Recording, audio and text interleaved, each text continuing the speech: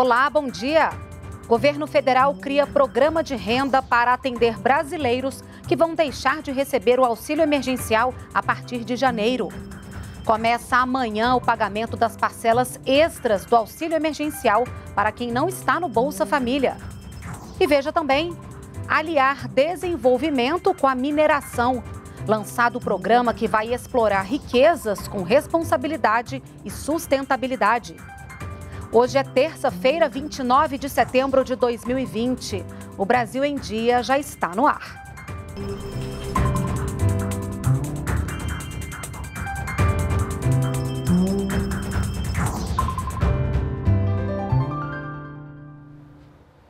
São 9 horas e 45 minutos. Nós estamos ao vivo também pelas redes sociais. Um novo programa de transferência de renda será criado pelo governo federal. É o Renda Cidadã. O programa vai atender milhões de brasileiros que vão deixar de receber o auxílio emergencial a partir de janeiro. Governo e líderes do Congresso reforçaram o compromisso com o teto de gastos e também com a reforma tributária. O Renda Cidadã deve valer a partir de janeiro do ano que vem e vai ser apresentado ao Congresso Nacional dentro da PEC emergencial. Segundo o presidente Jair Bolsonaro, executivo e legislativo estão trabalhando juntos em busca de soluções para colocar a economia nos trilhos no pós-pandemia. Recuperar os empregos, atender aqueles conhecidos agora como invisíveis, porque o Brasil segundo a doutrina, né, orientação do Paulo Guedes, tem que voltar à normalidade o mais rapidamente possível. O anúncio do novo programa foi feito após uma reunião de líderes partidários e ministros com o presidente Jair Bolsonaro aqui no Palácio da Alvorada. O ministro da Economia, Paulo Guedes, afirmou que o governo não vai furar o teto de gastos para financiar o novo programa nós vamos respeitar o teto, a sustentabilidade fiscal. O Brasil é um país sério, o Brasil se comporta dentro da responsabilidade fiscal, dentro dos orçamentos públicos, e nós então buscamos soluções dentro dessa verdade orçamentária. A proposta do Renda Cidadã já fazia parte do programa do presidente Bolsonaro e se tornou consenso entre governo e parlamentares. O Renda Cidadã terá maior custo que o atual programa de transferência de renda e, para isso, usará, além dos recursos do Bolsa Família, precatórios e cerca de 5% do Fundeb, o Fundo de Manutenção e Desenvolvimento da Educação Básica. A proposta é que, em até 5%, do novo recurso do Fundeb seja utilizado também para ajudar essas famílias que estarão no programa a manterem seus filhos na escola. Muito importante mantermos esse pilar de não aumentar nem carga tributária e nem ameaçarmos aí o teto de gastos. É, esse é o exercício permanente, essa é a maneira certa de fazer. É, e o governo começa a pagar amanhã a parcela extra de 300 reais do auxílio emergencial para beneficiários fora do Bolsa Família. O novo calendário de pagamentos foi divulgado em edição extra do Diário Oficial. Vamos até o Palácio do Planalto. Glauco de Queiroz conta pra gente. Oi, Glauco, bom dia. Bom dia, Renato. Bom dia a todos. É isso mesmo, recebem amanhã, de acordo com o novo calendário, o auxílio extensão os nascidos em janeiro. São integrantes do cadastro único e que solicitaram benefício no aplicativo de celular. E na sequência, em 5 de outubro, recebem os nascidos em fevereiro e assim por diante até o dia 1 de novembro. E hoje o auxílio extensão aí de 300 reais será pago a 1 milhão e 600 mil beneficiários do Bolsa Família com o NIS final 9. E também nesta terça-feira a Caixa Econômica libera o saque é, do auxílio emergencial para os trabalhadores nascidos em março. O total são 4 milhões e 100 mil trabalhadores. E olha, Renata, é, o impacto final das medidas de combate ao novo coronavírus devem chegar aí ao montante de 600 e 607 bilhões de reais em 2020. E mais da metade aí desse valor corresponde aos pagamentos do auxílio emergencial. E para encerrar, aqui no Palácio do Planalto hoje, o presidente Jair Bolsonaro vai sancionar a lei que aumenta aí é, a punição para crimes de maus tratos contra animais. Renata, com você. Tá certo, Glauco. Obrigada pelas suas informações. E para ajudar empreendedores individuais e micro e pequenas empresas, o governo liberou a primeira parcela no valor de 5 bilhões de reais do Programa Emergencial de Acesso ao Crédito, o PEAC Maquininhas. No total, serão disponibilizados 10 bilhões de reais. Podem solicitar o financiamento as empresas que tenham vendido bens ou prestado serviços por meio de máquinas de cartão de débito ou de crédito no período anterior à pandemia.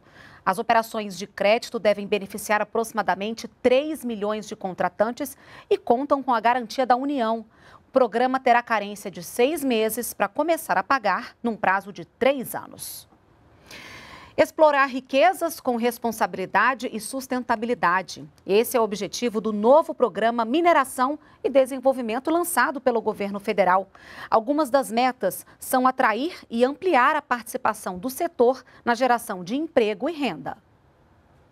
O setor de mineração representa 2,5% do produto interno bruto, que é a soma de todas as riquezas produzidas no país e gera cerca de 3 milhões de empregos diretos e indiretos. A ideia do programa é ampliar essa participação na economia. Nós sonhamos, pesado ministro, mais do que commodities, realmente agregar valor naquilo que nós temos para o futuro.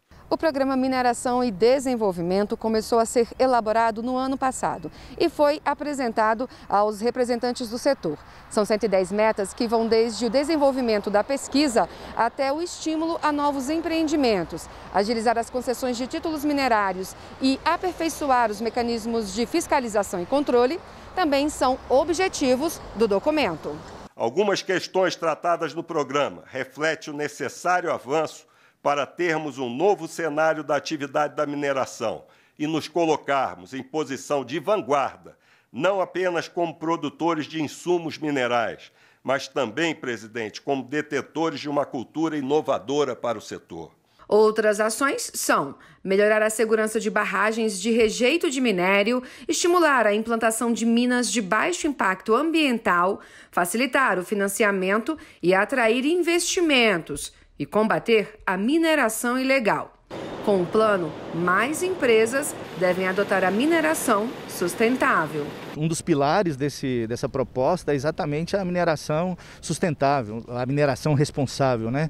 É, isso é possível sim, você conciliar a atividade de mineração mantendo a sustentabilidade. Né? A maioria das empresas hoje já pratica isso é, e agora o governo apoiando, eu não tenho dúvida que a tendência é que a gente só tenha mineração responsável e sustentável. E por falar em sustentabilidade, o Ministério do Meio Ambiente recebe até amanhã sugestões e contribuições sobre a gestão do lixo no Brasil. O objetivo é colocar em prática o Plano Nacional de Resíduos Sólidos. O Ministério do Meio Ambiente abriu uma consulta pública que está disponível para receber contribuições até o dia 30 de setembro. O Distrito Federal já está se adequando e promete compartilhar suas experiências. O GDF fechou o lixão estrutural e está realizando estudos para, para identificar tecnologias para remediar o antigo lixão também inaugurou seu primeiro aterro sanitário. As propostas do documento são pensadas para as próximas duas décadas, mas a cada quatro anos devem ser revisadas para orientar os investimentos no setor.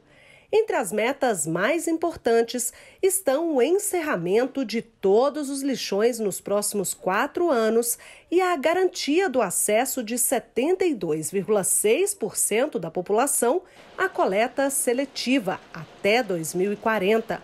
O plano propõe ainda reduzir a vulnerabilidade dos catadores e garantir a devida remuneração e melhoria da qualidade de vida da classe. Através do plano é possível levar essas informações do que é reciclável, o que não é, para onde vai esse material e como que ele gera renda para outras pessoas. Este mês, o Ministério do Meio Ambiente autorizou o repasse de 232 milhões de reais para ações de redução de impactos ambientais e adaptação às mudanças climáticas. Entre a destinação estão obras e ações de saneamento básico do programa Lixão Zero e outros eixos da Agenda Ambiental Urbana lançada pelo Ministério do Meio Ambiente em 2019. O Brasil vai receber mais de 100 milhões de doses da vacina contra a Covid-19 desenvolvida na Inglaterra assim que estiver disponível. O Ministério da Saúde já prepara os protocolos de distribuição. Além disso, a Fundação Oswaldo Cruz, que já assinou o contrato com o laboratório de Oxford, também vai produzir a vacina aqui no Brasil. O contrato prevê a transferência de tecnologia e o fornecimento de insumos para que a vacina seja produzida aqui no Brasil. O início da produção das primeiras doses deve acontecer no final de dezembro deste ano ou início de janeiro de 2021. A ideia é tornar o Brasil autossuficiente na produção da vacina. O laboratório de biomanguinhos da Fundação Oswaldo Cruz já domina a tecnologia da plataforma em que a vacina está sendo desenvolvida lá no Reino Unido. Com isso, a produção vai ser mais ágil e outros produtos poderão ser desenvolvidos aqui no Brasil a partir da troca de tecnologias. Com essa plataforma, nós poderíamos introduzir mais rapidamente a vacina iniciar o processo de produção com mais agilidade e também no futuro desenvolver novos produtos que sejam de interesse da saúde pública. O contrato entre a empresa AstraZeneca e a Fiocruz prevê ainda a aquisição de cerca de 100 milhões de doses da vacina num primeiro momento, além do envasamento e distribuição do produto no Brasil. A Secretaria de Vigilância em Saúde já publicou uma portaria que cria uma câmara técnica de imunização, na qual especialistas do Brasil, de diversas sociedades médicas, do CONAS, do CONASEMS, do Conselho Federal de Farmácia, do Conselho Federal de Medicina, estão reunidos reunidos e planejando e estudando como será a distribuição da vacina do Brasil baseado em dados epidemiológicos.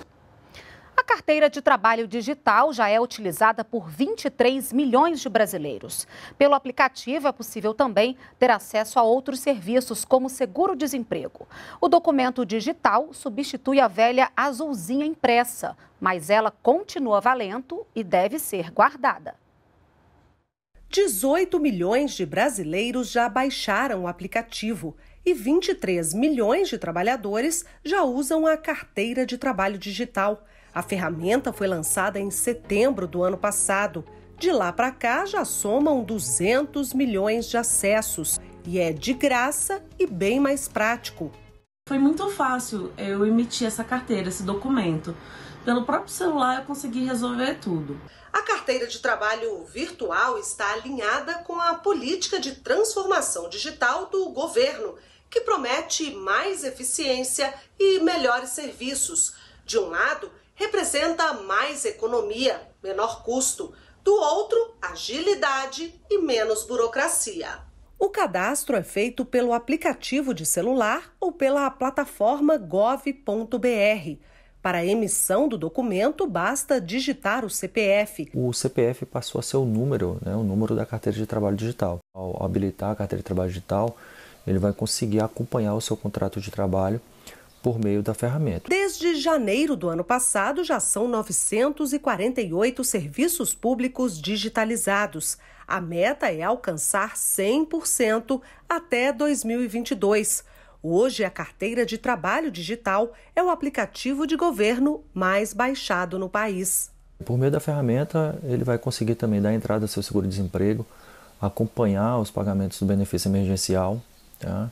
é, fazer recurso, né? abrir recurso é, de seguro-desemprego, é, acompanhar o abono, né? É, o cronograma do abono salarial e poder compartilhar né? É, essa carteira de trabalho é, para comprovar a experiência profissional. É isso, o Brasil em Dia fica por aqui. Você pode nos acompanhar também pelas redes sociais. Uma ótima terça-feira para você. A gente se vê amanhã. Até lá, tchau.